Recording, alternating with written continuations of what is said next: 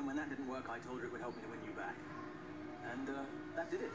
Turns out that although she thought the Dalai Lama was incredibly a llama, she is in fact quite the romantic.